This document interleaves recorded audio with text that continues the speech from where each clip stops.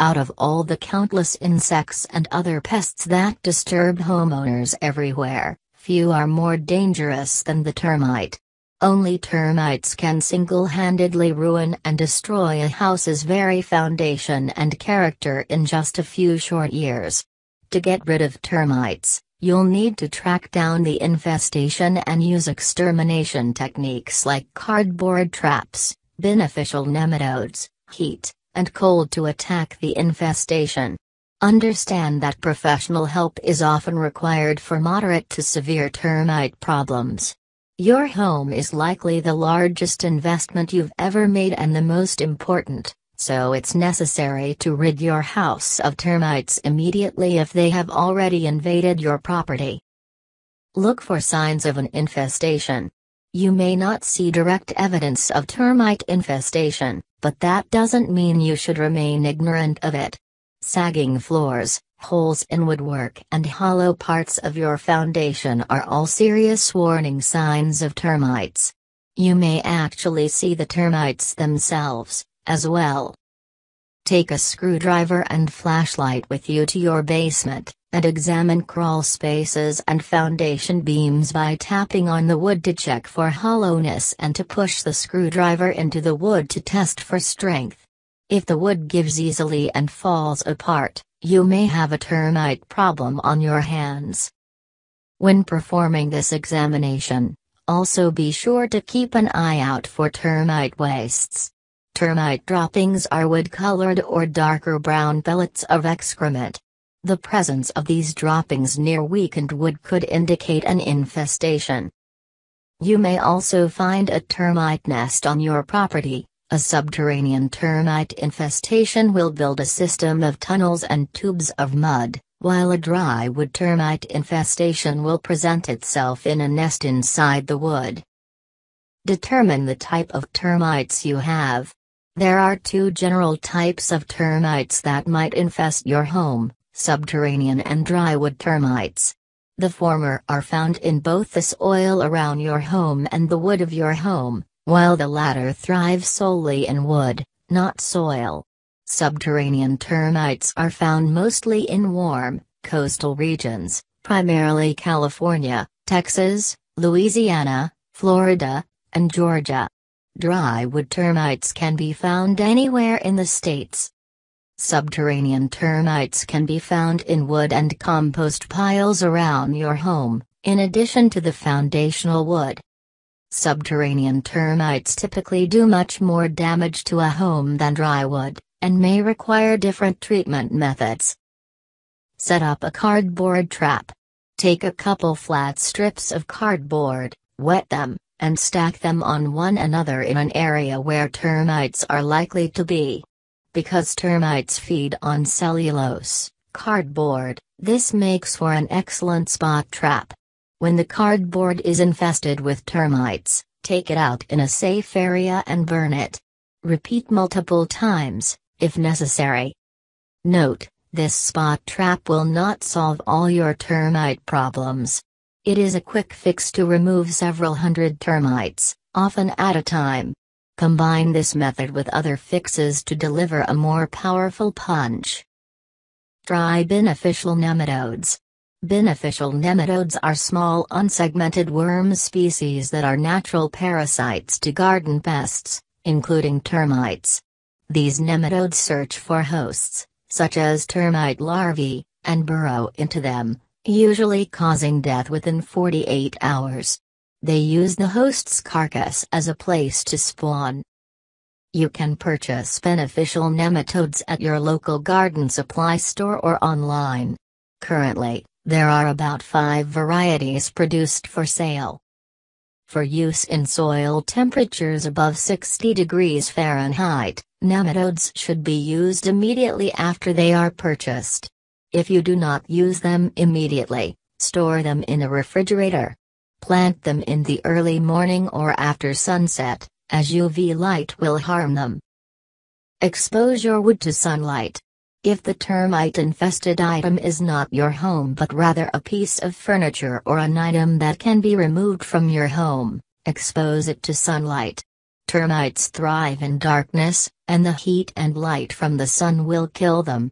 On a sunny day, place your furniture outside for as long as possible, preferably 2-3 days.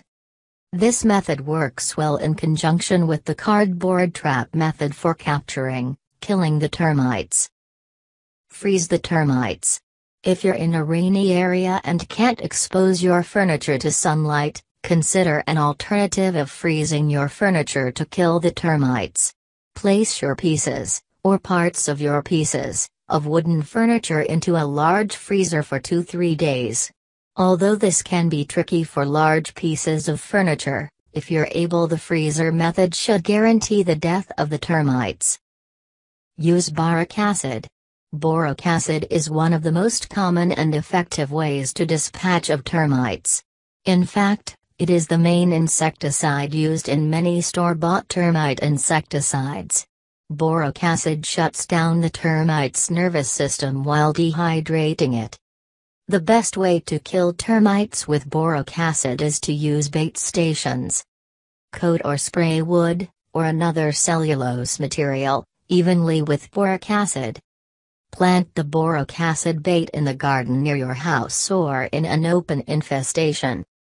Check on the bait station regularly and replenish it with boric acid as needed. You should see the termite carcasses nearby. Purchase and use termite control products. Readily available at your local hardware supply store, using termite control products is the first step you need to take to get rid of these harmful pests. You can use termite baiting control methods or a liquid termite killing product. Lay the bait near infested areas and spray the termite control product on those same areas. Get a microwave spot treatment. Because heat will kill termites, you can have your home heated to a high temperature to kill them. This must be done by a professional though, as the tools required aren't available for anyone to purchase, use. Call your local bug infestation control company, and see if this is an option for your home, or home, call a professional. If you decide that your infestation is simply too big, or the house is simply too important not to get it right the first time, you should probably call a professional extermination service. When you call professional exterminators, be sure that you get at least three different quotes from competing firms. Look at the service record of the firm from the Structural Pest Control Board before you decide on employing them. Get a written agreement from the firm you are using insisting on complete termite extinction for two years. This may require the firm to come back periodically, check for new infestations, and clear them away, at no cost to you. Do it yourself professionally. In the most states, you can legally purchase the same products used by the professionals when you are using them for personal use only. Two top-of-the-line products are Termidor SC and Taurus SC which are applied as a liquid around the exterior perimeter of your home. These products can be purchased online at a very economical price. For about a $100, you can treat an average-size house yourself and get professional results if you are willing to provide the labor. Maintain a dry home or apartment. Termites are naturally drawn to damp and moist habitats because they need water to survive. So make sure you ratchet up your vigilance about keeping things dry, or else termites will invade. Make sure all leaks and standing water, both inside and outside of your home are secured and dry. Broom away or suction up any unwanted water if possible. Dirty wet gutters are also an ideal home for termites, so keep your gutters free of debris for further prevention. 2. Use pest repellent. Adding 0.1%, approximately 1 tablespoon to a gallon, permethrin to paint or wood polish or wallpaper glue while building or repainting the house will keep termites away permanently. You can even add permethrin to the cement you use to lay flooring or the glue you use to lay wooden flooring. Since permethrin is a safe pesticide approved for human use, there is no added risk of toxicity. toxicity. Keep wood off your property. Termites obviously feed heavily on wood so keep large amounts of firewood and other loose tree trunks and branches away from your home. If you maintain large amounts of wood on your property, you are only inviting a termite feast. If you must keep wood near your home, cover it completely to keep it dry, this will minimize the attraction for the termites. If you must use wood, treat it with permethrin as above. Seal any cracks in your home. By simply caulking and sealing the windows, doorways and cracks around your home, you are taking the first and important steps toward making sure that no termites invade and infest your property. Gaps around electrical wiring and pipes to and from your house are another easy way for termites to traffic themselves into your home. Screens on your doors, window and porch are also a necessity if you are wary of a termite infestation. Retreat your house on schedule. One of the most effective ways to keep your home safe from termite damage is to maintain a protective barrier around the exterior perimeter of your home. Fortunately, this need not be a major expense if you do it yourself with professional quality products like Termidor SC or Taurus SC. Both of these contain the termiticide, insecticide fipronil at the same concentration and are applied as a liquid around the outside perimeter of your home. Fipronil is very low in toxicity and is highly effective against both termites and ants.